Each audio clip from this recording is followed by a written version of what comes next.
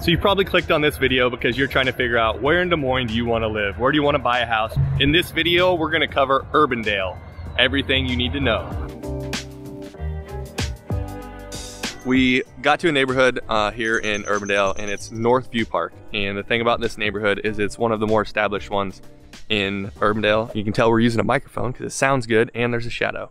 So this is one that is on the, it's on the inner side of, of I-35 and I-80 in this type of older neighborhood, it's going to be a price point, you're gonna have a price point of probably 280 up to up to 400 That's for some of the bigger houses.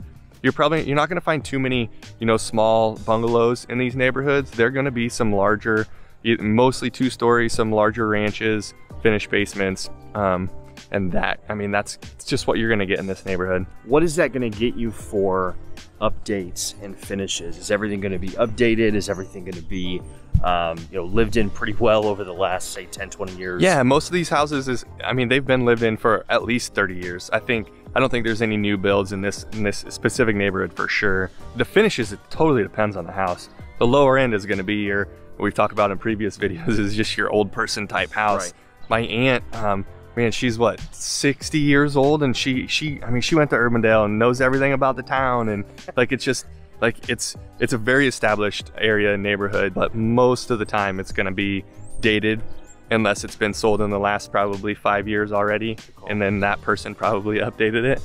And no matter where you are in the Des Moines Metro, whether this is uh, currently we're filming in Clive, we're filming in Urbandale.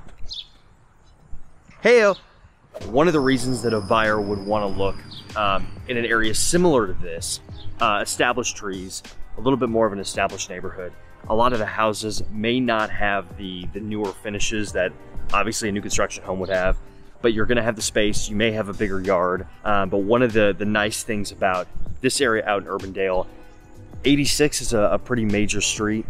It's nice to be close to interstate access, uh, restaurants, you can move around pretty easy in an area like this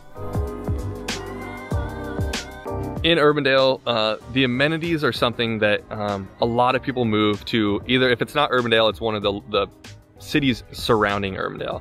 Um, and the reason being is you really have everything that you need within that community, and it's on a very nice scale. It's on the higher end scale. Couple of amenities that I would like to mention: Lifetime Fitness. Uh, we're members there, which it's expensive. It's almost like a, a fitness mall of things to do throughout the winter, throughout the throughout the summer.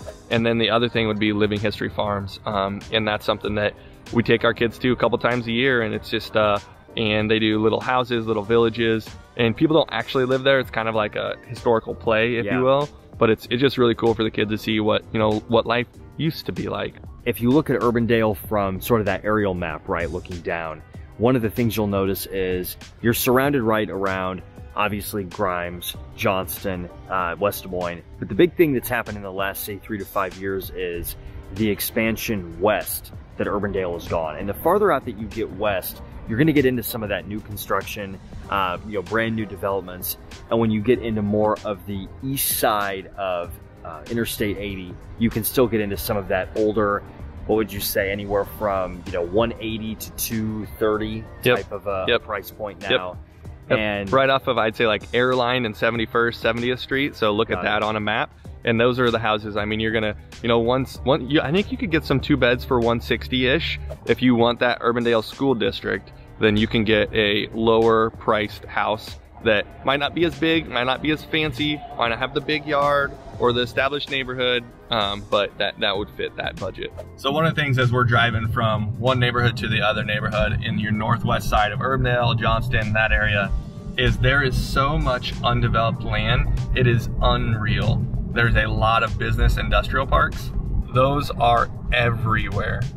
Des Moines doesn't have any geographical barriers. There's no lake that we are hitting on, there's no mountains, there's no sea. So we as a as a metro are going to just continue expanding out. Most of these areas are being developed at such a fast rate and I hear from people all the time that they are surprised when you start driving around how much is being built, how much new construction is going on, and I can't imagine that any of this will stop in the next 10 years.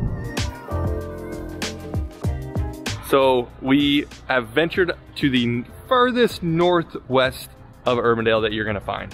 And in that little pocket is a kind of new development area. And so you're gonna get most of the houses built after 2010. And a lot of these houses uh, are custom. So we're looking at houses out here anywhere from 400 all the way up to about seven. You can pick the lot, you can pick the builder. Um, it's a little bit more custom. There are certain covenants on how you can actually build the, the physical design and look of the home. So it has to fall into a few different uh, rules with that, but you're a little bit more open than you are um, with certain other uh, new construction developments. Right. So one of the bad things, I, am just gonna go out and say it about this neighborhood, yeah. is it's a long ways to the northwest. It is. To get to downtown Des Moines from here or to get over there into the central part of the city, like you have a good 25 to 30 minute drive. And we can go into other neighborhoods where you could get new builds and be closer to downtown. One, one video we've already done on this channel is Norwalk. I would say new builds uh, in Norwalk, you're probably gonna be a little bit closer to downtown just due to how uh, the highways work and the straight shot. But obviously that's a different school district, different area, so whatever vibe you're feeling. So if you think, if, if, there's somewhere that you are thinking about moving to, reach out to us. We'll either do a video on it or we'll just live stream with you sometime and like give you an idea of what the neighborhood looks like. You know, are there sidewalks? Are there not sidewalks? Are there good parks? Are there bike trails? Like what matters to you? That's, I mean, that's why we're putting this channel together.